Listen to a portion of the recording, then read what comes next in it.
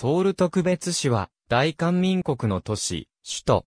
かつての朝鮮王朝の首都、ハンスン府である。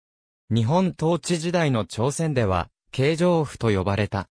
メディアを再生するソウルの眺め、2019年元は、京軌道に属したが、1946年に分離し、特別市となる。韓国には、ソウル特別市のほか、清掃特別自治市と6つの広域市が存在し、日本の政令指定都市に相当すると言えるが、特別市、特別自治市、広域市とも行政道には所属せず、道と同等の広域自治体として運営されている。朝鮮王朝500年の王都で、詩人総王の思想によって建てられた。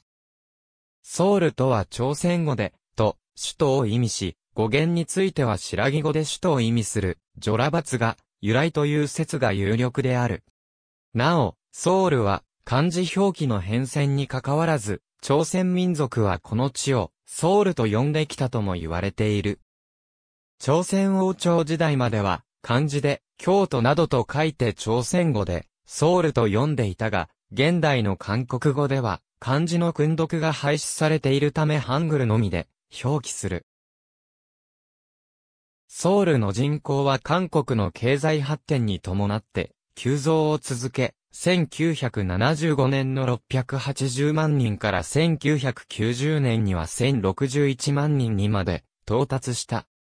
しかし翌年の1092万人をピークにその後は減少傾向が続いている。これはドーナツ化現象が進んだためである。しかし、地価の高騰や少子化、高齢化、雇用の悪化から近隣の似川市や京畿道を含めたソウル都市圏、そのものも、すでに人口減少に転じている。それでもなお、ソウル都市圏には韓国全国民の50%が在住し、一極集中傾向が非常に強い。2020年時点での近郊都市を含めた都市圏人口は約2596万人であり、世界屈指の規模の大都市圏を形成している。アメリカのシンクタンクが2017年に発表した総合的な世界都市ランキングにおいて世界7位の都市と評価された。また、日本の民間研究所が2017年に発表した世界の都市総合力ランキングでは世界6位と評価された。関陽は白木の時代から使われた地名で、陽が川の北側を意味することから、関水の北側の土地の意味で命名された。その後、高麗初期に、陽州と改められ、文宗の知性に副首都との意味を込めた、南京とされ、国王の代理である、ルスが設置された。中列王の知性の1308年には、関陽の名称に復帰したが、朝鮮建国後の1395年、ハンスン府に解消された。朝鮮王朝の首都になったため、都を意味する、ソウルと呼ばれた。関陽などの漢字表記は朝鮮語の訓の当て字として、それらをソウルと呼んでいた。現代の韓国語では、漢字の音読以外はほとんどハングルだけで表記しており、漢字表記も使われなくなった。ちなみに、中国、台湾などの中国語圏では、ソウルに相当する漢字表記がなく、長らくソウルは、ハンスンと呼ばれてきた。インチョン国際空港近辺などの韓国の道路、交通標識にも、ハングルと併記して、ハンスンと表記されていた。なお、新表記の首字が制定されたことに伴い、徐々に状況は変化している。形状は日本統治時代に使われた名称である。韓国併合前から使われたソウルを指す名称の一つ。1910年10月1日に交付、施行された朝鮮総督府令第7号に基づいて、それまでのハンスン府から京城府となった。実際には1945年以降も数年間使われており、また現在においても京府線の京や京紡ぐといった企業名等にその名残が見られる。現在、中国語圏では、ソウルを首字と故障、表記している。中国語圏で、ソウルは、長らく、朝鮮王朝時代の、ハンスンの名で呼ばれていた。2005年1月19日、リア・アキヒロソウル特別市長は、記者会見で、ソウルの中国語表記を原音に近づけるとともに、首都の意味も含ませた、首字とすることを発表した。これを受けて、台湾と香港の報道機関は、表記を首字に改めた。中国でも、2005年中頃から、中国青年法などの報道機関や、中国南方航空などの航空会社で、上から首へと表記を改め始め、10月には中国政府も首表記への変更を行った。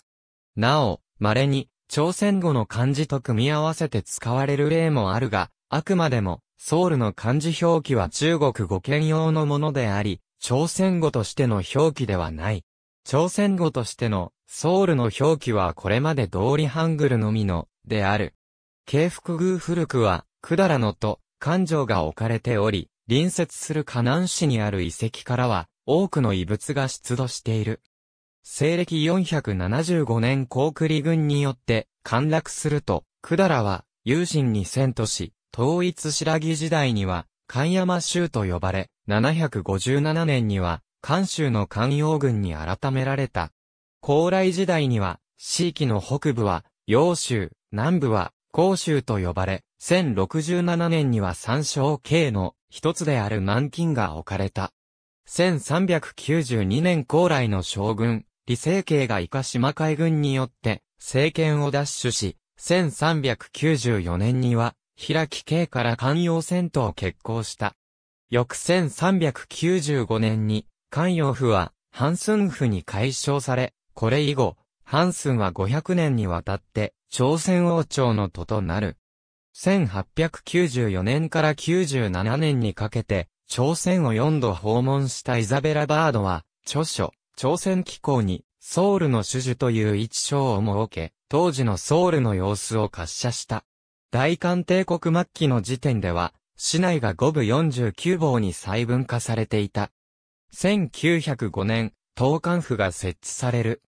1910年韓国併合後、ハンスン府は、京城府に改められでは市に相当する。日本の朝鮮統治機関である、朝鮮総督府が置かれた。その後都市化の進行に伴い、1936年には、周辺地域を併合して、区域を4倍に拡大し、1943年には、人口急増のため区政が導入されている。朝鮮総督府の支配下で、現在の京福宮、光家門、ソウル市庁舎近辺は、政治、行政の中心、現在のミョンドン近辺は、経済、商業の中心、達山は、軍事の中心となった。また、京気道の道庁所在地でもあった。1931年には朝鮮廃花事件で、華僑との衝突事件が起きた。1945年8月15日の降伏後しばらくの間は、ソウル、ハンスンと共に、形状の名称も使われていた。1945年9月から発行された、在朝鮮アメリカ陸軍司令部軍政庁広報の場合、英語版では一貫して、ソウルだけが使用されているが、日本語版には、形状と、ソウルが混在、朝鮮語版でも、形状と、が混在する。その後、米軍軍政下の1946年8月15日に、ソウル試験章が発表され、その第一章第一条で、形状符をソウル市と称し、特別印とする、と正式に規定された。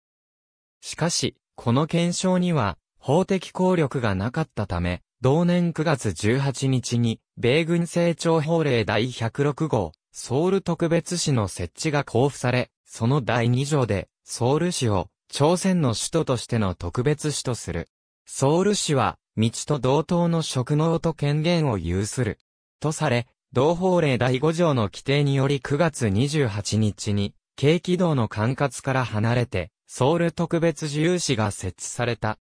1948年8月15日の大韓民国政府樹立と同時に首都となり、翌1949年8月15日にソウル特別市に改称した。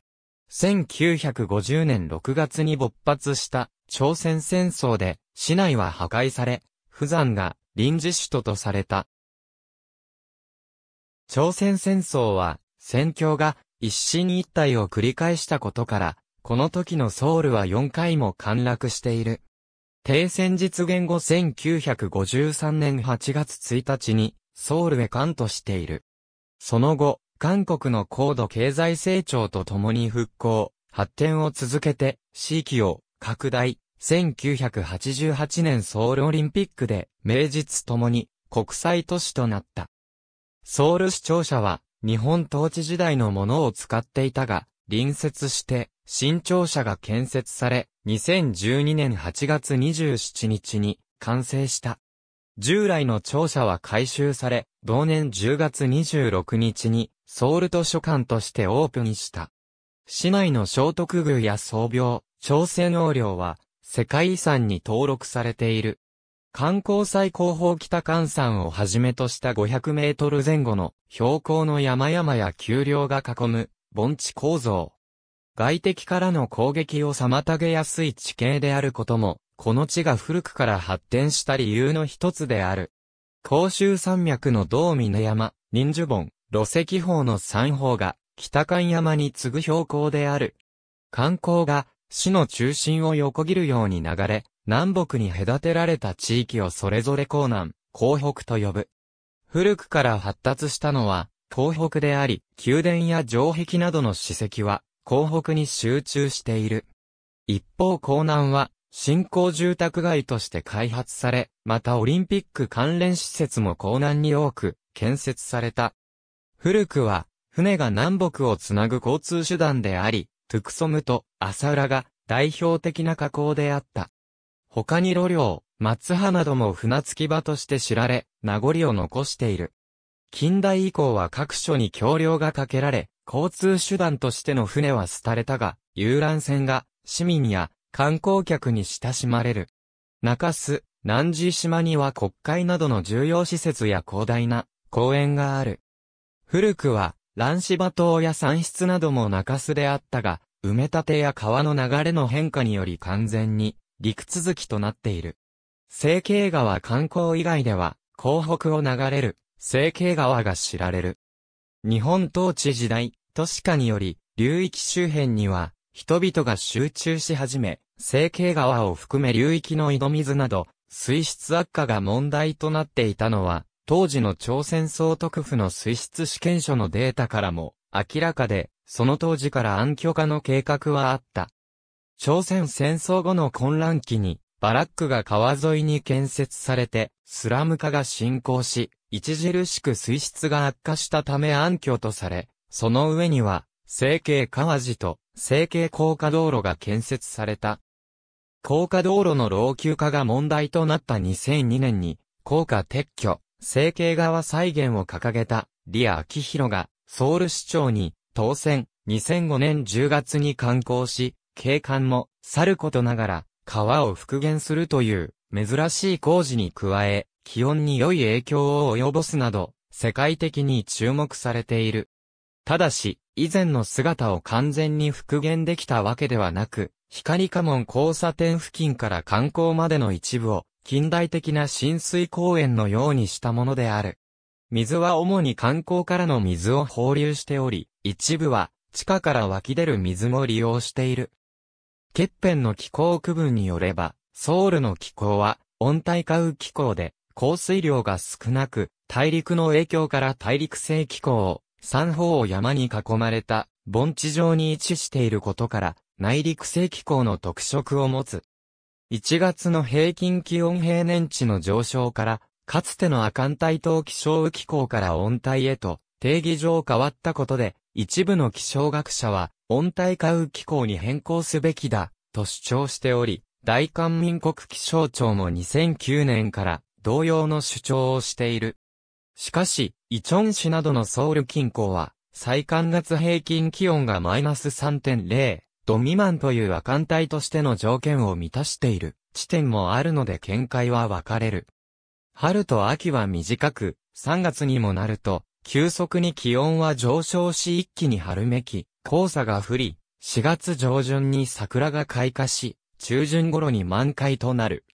秋の訪れは早く、11月にもなると紅葉が始まり、朝晩は氷点下になる日も出てくる。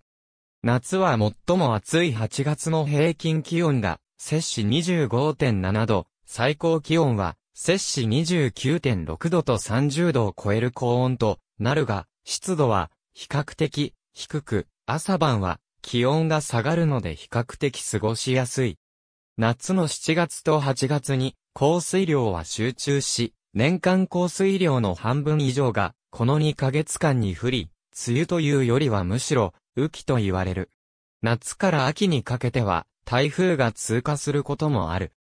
冬は緯度の割に寒さが厳しく、1月の平均気温はマイナス2.4度、平均最低気温はマイナス5.9度、平均最高気温は1.5度と、北東北から道南の気温に匹敵するが、乾燥していて、雪が積もることはあまりない。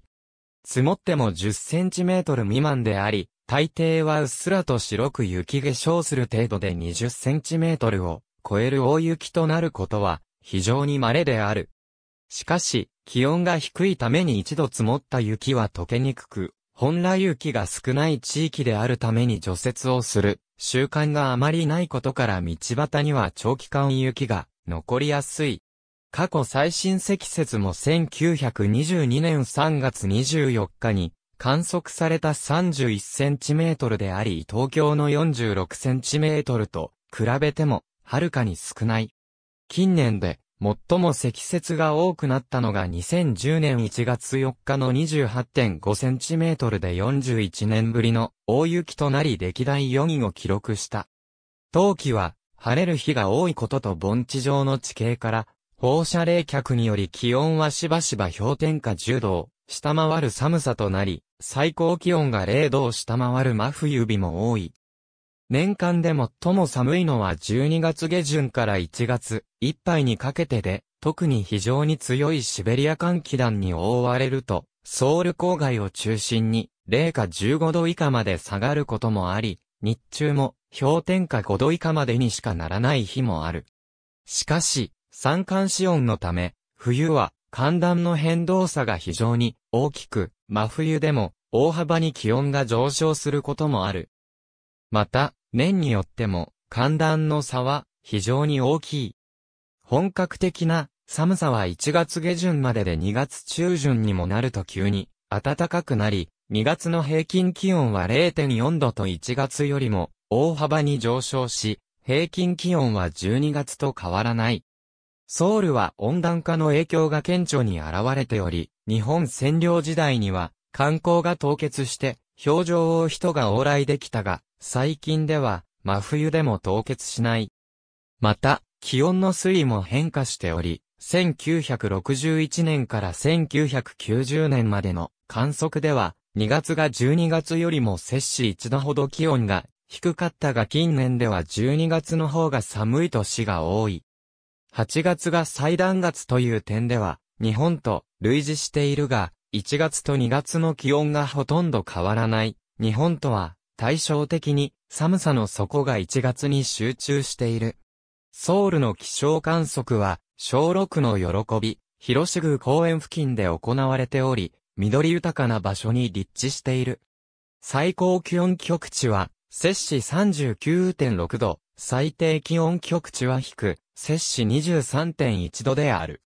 1960年以降の記録では、最低気温極地は低、摂氏20.2度となっており、1960年以降のマイナス20度以下の観測はこの日だけである。リトル、東京観光の岸辺にある、達山区に、村道は、ソウル在住日本人、特に駐在員が、数多く住む地域であり、ソウルのリトル東京とも呼ばれる。通常この地域は、東部に、村道と呼ぶ。二村駅が、最寄り駅。北には、在韓アメリカ軍の達山基地が広がり、ソウル中心部とは、比較的孤立した地域で静かな高級団地が数多くある。もともと米軍基地が近かったことからに、村道付近には外国人居住者が多かったが、日本人の居住は日韓国交正常化以降、特に1970年代に入り、企業駐在員や日本大使館員などが住み始めた。ただし、もともと、日本統治時代から、日本人が多く居住していたのはこの地域である。上記アメリカ軍基地ももともとは、旧日本陸軍の朝鮮軍司令部をそのまま転用したものであり、この地域には日本統治時代の日本風建物が今なお多く存在している。外国人が居住することから不動産価格が高騰し、敷金がほとんどない場合では、同地域の団地の入居には、最も安くても家賃が1ヶ月200万ウォンを下らない。日本の食材を売る日本人向けの各種商店はもちろん、居酒屋、銀行には日本人専用窓口があり、幼稚園には日本人クラスまである小路五外支店である。2、村道にあるものはこれを真似た。最近ではソウル日本人学校のある海裏道周辺などの、江南地区や政府中央庁舎付近の再開発地区など、日本人が特定の地域にまとまって住むということは、なくなりつつある。ソウル日本人学校はサウラク上岸道のデジタルメディアシティに所在するソウル日本人学校は1972年に設立され、幼稚部、小学部、中学部の生徒403人が在学する。運営は、ソウルの日本人会組織である、ソウルジャパンクラブが行っている。聖徳宮ミョンドンテヘランロ読み、各種表記は、大韓民国の地方行政区画を参照の、こと行政区域図読み、各種表記は、大韓民国の地方行政区画を参照のこと、N ソウルタワーからのソウル特別市の眺望国会議事堂左側が日本統治時代に作られた旧市庁舎で右奥が現市庁舎ソウル市は1958年の第4代国会議員選挙以降韓国民主党の流れを受け継ぐ保守野党勢力がいくつかの総選挙を除き与党に対し常に優位に立っていた。2002年の地方選挙と2006年の地方選挙では、継承道に強い地盤を持つ保守政党のハンナラ党の候補が市長に当選、市議会でも多数を占め、2008年4月の第18代国会議員選挙でも、ハンナラ党が48選挙区中40選挙区で勝利した。しかし2010年6月の地方選挙では、全羅道を絶対的支持基盤とする中道改革政党の流れを組む民主党が市議会の過半数を制し、2011年10月の市長補欠選挙では野党統一の無所属候補が当選。2012年と2016年の総選挙でも民主党系政党が多数派を占めた。大統領選挙では1987年の民主会後の7回のうち2007年を除いた6回は民主党系政党の候補者がソウル市で1位になっている。1961年の軍事クーデター以後、市長は政府による任命制となっていたが、1995年に地方自治体首長の公選が復活し、1998年以降は4年ごとに選挙が行われている。現在は2021年4月7日に執行された市長補欠選挙にて当選したクレヨ君が市長を務めている。110議席地域区は小選挙区制。ソウル特別市議会庁舎韓国における地方議会選挙自体は朝鮮戦争最中の1952年5月10日に初めて行われたが、ソウル特別市では選挙が実施できず、休戦後の1956年8月10日に初めて市議会議員選挙が行われた。しかし、2回目の選挙が行われた、翌年の1961年5月に発生した軍事クーデターで発足した軍事政権の布告4号により、地方自治が停止され、市議会は解散させられた。その後、1987年に民主化が実現したことで、地方自治が復活、1991年6月に行われた市議会議員選挙後の同年7月、30年ぶりにソウル市議会が復活した。以後、4年ごとに選挙が行われている。なお、市議会庁舎は、1975年まで国会議事堂として使用されていた旧、形状不民間の建物を使用している。韓国銀行韓国経済の中心であり、世界屈指の経済都市でもある。2014年のソウル都市圏の総生産は8042億ドルであり、東京都市圏、ニューヨーク都市圏、ロサンゼルス都市圏に次ぐ世界4位の経済規模を有する。GDP で言えば、東京の半分程度と、世界的には極めて高い経済規模である。サムスン、LG、ヒュンダイをはじめとする韓国企業の本拠地としてソウルは成長を遂げてきた。韓国外環銀行はソウルに所在する。ソウルの面積は韓国全土の面積に対して0.6%でありながら全人口の20%が集中する極端な位置、極集中のもと、国全体の国民総生産の21%を生み出している。2008年に米国のマスターカードワールドワイドが発表した世界ビジネス都市ランキングでは、ソウルは世界第9位の都市との評価を得ている。フォーチュングローバル500においては、世界レベルの大企業の本社数が世界で6番目に集積している都市と評価されている。また、2017年の調査によると、世界24位の金融センターと評価されている。ターミナル駅日本統治時代に設置されたソウル駅、ソウル駅ソウル特別市内、及び近郊との連絡性が大行政機関では、統一部等が所在している。オーポインや大検察庁、ソウル中央地方法院等の法務機関は、随総区に所在している。韓国国立中央博物館東大門、デザインプラザソウル市立美術館。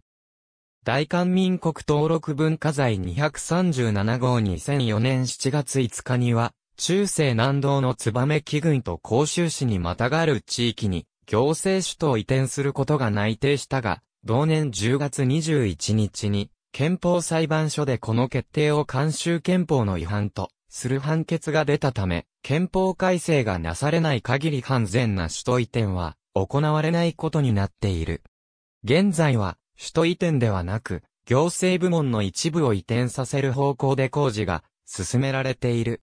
2010年12月には、国会において、清掃特別自治市設置等に関する特別法案が可決された。同法では2012年7月に、清掃特別自治市が発足することを定めており、国務総理室、中央行政機関の旧部2所に超党が移転する予定である。2010年10月現在、ソウル特別市は23の姉妹都市を有している。ありがとうございます。